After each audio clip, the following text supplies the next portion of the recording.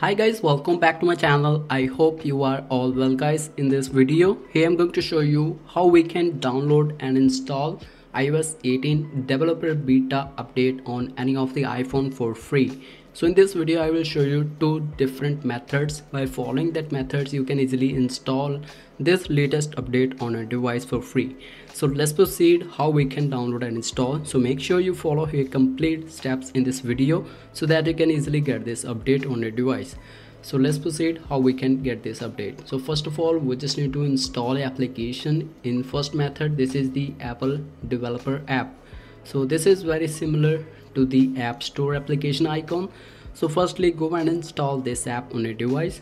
After installing this application now simply hit on this ok and you will see this option of the account.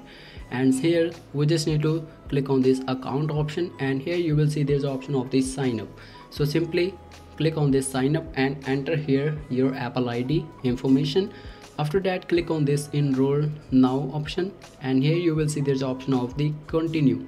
So we just need to tap on this continue option and when you tap on this continue you will see there's option of the agree.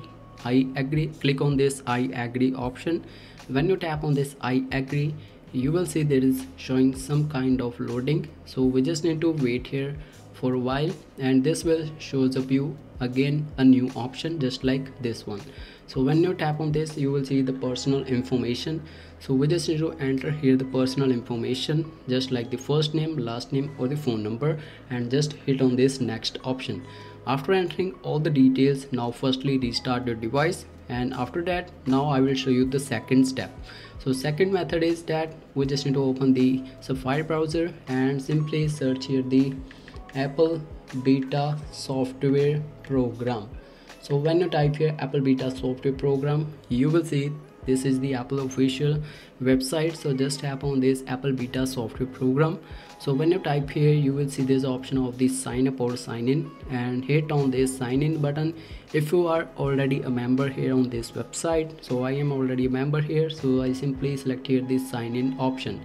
After that you will see this is showing some kind of loading so we just need to wait here and click on this continue option and this will use your face id and when you use a face id this will show you done button and you will see this showing again loading and simply again swipe up and you will see this option of the ios ipad mac os or tvOS so you can select any of the option and if you are using an iphone so just select here the ios and if you are using ipad just tap on this ipad os and here you will see this option of the enroll your ios device. So just tap on this enroll your ios device option and swipe up and click on this open beta updates.